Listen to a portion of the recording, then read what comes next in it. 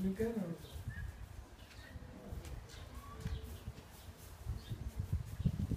Dá pra ele não morder, hein, João?